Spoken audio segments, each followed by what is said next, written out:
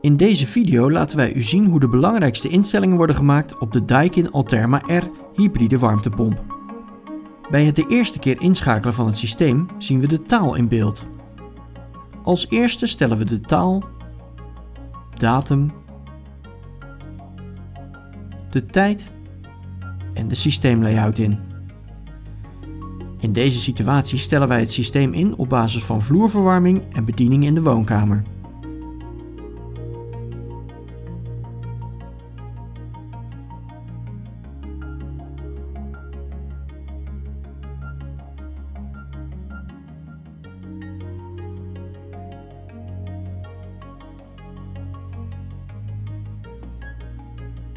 Hierna starten we het systeem opnieuw op. Na het opnieuw opstarten moeten enkele instellingen gemaakt worden voor de juiste werking van het systeem. De volgende handelingen zijn nodig om op het installateursniveau te komen. Druk 5 seconden op de info-knop. Dan verschijnt de informatieknop op het scherm. Selecteer deze en ga vervolgens naar gebruikerstoegangniveau. Druk vervolgens 10 seconden op de menuknop rechts onderin. U ziet installateur op het scherm verschijnen en bevestigt deze. Bij installateursinstellingen maken we een aantal instellingen die noodzakelijk zijn voor de werking van het systeem. Zo stellen we de minimale en maximale temperatuur in van de vloerverwarming. We zetten het afgiftesysteem op langzaam. We kunnen het werkingsgebied naar voorkeur van de gebruiker instellen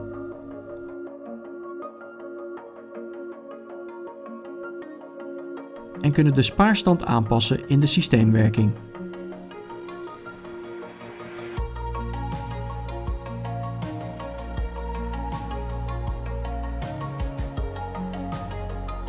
Bij overzicht instellingen zijn de volgende instellingen noodzakelijk. De vorstbescherming dient uitgeschakeld te worden en de evenwichtstemperatuur dient geactiveerd en ingesteld te worden.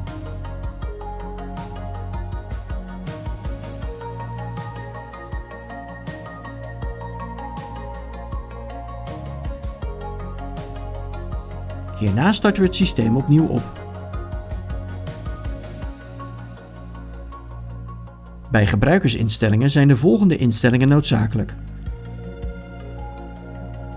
Instellen van de weersafhankelijke stooklijn verwarmen. Standaard op 35 bij min 10 graden en 25 bij plus 15 graden. Instellen van de weersafhankelijke stooklijn koelen. Standaard op 22 bij 35 graden en 18 bij 20 graden. Kies de optie voorgeprogrammeerde waarde om de elektraprijs en gasprijs in te stellen. Hier kunt u de actuele prijs instellen. Hierna bevestigt u de instellingen en wordt het systeem opnieuw opgestart. Na het opnieuw opstarten kunt u de ruimteverwarming en het tapwater activeren.